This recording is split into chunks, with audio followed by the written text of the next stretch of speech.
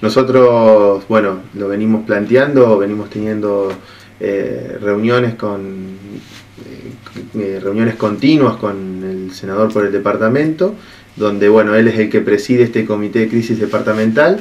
estamos trabajando también otros están trabajando también otros referentes del departamento como Jimena Sen, también colaborando mucho, que nos vino a visitar a nosotros hace unos días. Y a ver todo el trabajo que estamos desarrollando. Nosotros desde el día uno, desde el día cero que comenzó esta, esta, esta cuarentena, nos pusimos a disposición de este comité de crisis departamental, donde bueno, fuimos trabajándolo con los distintos presidentes de comunas que eh, realizábamos las conferencias eh, virtuales con el, con el senador, y bueno, y trabajando la verdad que eh, dedicadamente en cada, cada punto que podíamos ir viendo y cada consejo que nosotros podíamos dar de cómo se manejan nuestras localidades. Y bueno, y así fuimos avanzando eh, en las distintas peticiones que fuimos realizando. De hecho, eh, fuimos una de las primeras localidades que pusimos el horario, el, horario corrido, también lo, planteamos con otras comunas. Y eso, eso la verdad que eh, benefició mucho en esta, en esta cuarentena lo que es la, prevención y, el, y el, la vigilancia por parte de la policía local. Entonces esas cuestiones ah, hicieron que, se desarrolle de una manera eh, realmente correcta esta, esta cuarentena y bueno, seguimos avanzando con las distintas eh, reuniones y eh, en conjunto con el senador y bueno, fueron surgiendo temas, temas por ejemplo que llegado a los días 30 ya mucha gente no podía más sostener la economía, recordamos nosotros en nuestra localidad eh, la economía por momentos eh, es muy débil y hay que sostenerla y hay que salir a, trabajar. Entonces la gente, la necesidad del trabajo eh, es fundamental. Y bueno, y escuchamos cada uno de ellos y, tomamos decisiones también dentro de nuestro comité de crisis local, que estaba compuesto por la directora del SANCO y la, policía local. Y, y, bueno, fuimos trabajando, desarrollando distintas estrategias para abordar esta, esta cuarentena y también las distintas peticiones que hicimos al Comité de Crisis Departamental. Y bueno, fueron escuchadas y así como fueron escuchadas también eh, fueron aprobadas otras, otras actividades como las que van a surgir a partir del miércoles. Nosotros veníamos desarrollando eh, ampliaciones y modificaciones de una ordenanza que ya teníamos. Que, tenía que ver con la apertura de los comercios, con la apertura de, distintas actividades en, en la localidad de San Carlos Sur y bueno, trabajando en esta en este nuevo en este nuevo rol que nos toca de, estar detrás de una, de una pandemia que la verdad que a nosotros nos a veces por momento eh, nos parece muy extraño y nos, nos eh, tenemos que salir a, estudiar cómo, cómo desarrollar distintos temas en, nuestra localidad. Pero eh, bueno la verdad que haciéndolo de una manera muy consciente muy ordenada y, muy, muy decidida también porque vemos que la gente que tiene eh, ingresos que por ahí no son los óptimos en esta época, bueno, necesitan salir a trabajar y también los mm. comercios de nuestra localidad, que a los cuales ya eh, también estamos habilitados porque pertenecemos a, localidades menos de 5.000 habitantes. Claro, bueno, de eso le quería hablar. ¿Qué, qué, rubros están habilitados para trabajar en, en San Carlos Sur? Bueno, nosotros los, rubros que tenemos, eh, tenemos los últimos que se, que se modificaron, que se ampliaron, son los comerciales, los, comercios minoristas, marroquinería, manicuría, peluquería. Ellos, eh, ellos ya están habilitados para trabajar. Ellos están habilitados. Con protocolos. Con protocolo, exactamente. Lo que nosotros elaboramos fue un protocolo, eh, un protocolo de mm, sanitario donde ellos pueden aplicarlo en su comercio y básicamente tiene que ver con eh, dejar ingresar de a una persona al comercio, depende la, la cantidad de metros cuadrados, pero cada uno se da cuenta cuando eh, deben ingresar una o dos personas.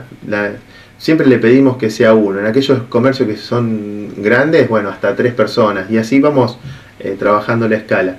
creo que es una alternativa que nos permite poder seguir moviendo la economía local y bueno, también en conjunto con los presidentes comunales de, la zona, trabajamos lo que es la apertura de, los trabajos de albañilería también, que fue algo fundamental para, también mover una actividad que, estaba frenada. Esto digo, eh, no necesita una habilitación especial de la provincia. ¿Esto cada uno de ustedes puede tomar, eh, tiene las atribuciones para hacerlo o necesitan que, que, la provincia les dé el visto bueno? No, nosotros siempre lo que hacemos es tener el resguardo de algún decreto, de algún DNU de la provincia eh, o de algún DNU nacional. Siempre nos manejamos en esos términos eh, y en lo que estaba habilitado y con ciertos permisos que nos permitía este comité de crisis departamental que, que bueno, que lo íbamos trabajando con, con, con la conciencia y con la responsabilidad porque básicamente nosotros te damos el permiso, pero lo que, lo que tenemos, a lo que recurrimos es a la responsabilidad de la persona en llevar adelante eh, el protocolo de la mejor manera. Creo que eso es lo que, a lo que apuntamos, que la gente eh, desarrolle una buena, una buena conducta con respecto al uso del protocolo y a los cuidados que tiene que tener, porque no solamente está, eh, está permitiendo tener un ingreso o trabajar, también está eh, está su, vida en juego, que no sabemos si vamos a tener un brote, cuándo lo, vamos a tener. Eh, hoy tenemos controlado el departamento, tenemos controlada la provincia, pero eh, hoy creo que hay un desafío muy grande por parte de la sociedad. ¿no? Claro, sí, este, este, esta historia que se contrapone de que estuvimos haciendo las cosas muy bien, o estamos haciendo las cosas bien en materia de seguridad de cada uno de nosotros, pero la presión del comerciante es decir, y es entendible, si no facturo no puedo pagar impuestos, no puedo pagar un sueldo, no puedo comer, no puedo pagar la luz, no puedo pagar los impuestos. Exactamente. Eh, los horarios que se han extendido en San Carlos Sur, ¿cuáles son? Los horarios eh, son los que teníamos de 8 a 16, se extendieron de 7 de la mañana a 18 horas. Bien, para actividades comerciales. Para actividades comerciales en general. Nosotros también ahí incluimos a lo que son estaciones de servicio, eh, farmacias, ferreterías, todos los que eran desde el comienzo, bueno, a, todos los trabajamos de la misma manera, con el mismo, con la misma, con la misma ordenanza y con eh, el protocolo que ya establecía eh, el gobierno provincial y el gobierno nacional desde el comienzo de esta de esta cuarentena, ¿no? Santiago, eh, albañilería también se extendió el horario de trabajo. Sí, albañilería lo extendimos, yo generalmente eh, tienen un horario ya establecido en la tarde, pero bueno, eh, cada uno dentro de ese horario puede, puede dividirlo en, en, la cantidad de fracciones horarias que quiere, si quiere trabajar por la mañana y por la tarde, pero básicamente esto fue consensuado con el comité de crisis local, que está compuesto por el comisario y la médica directora, como te decía, del SANCO, y bueno, y nosotros miembros de comuna.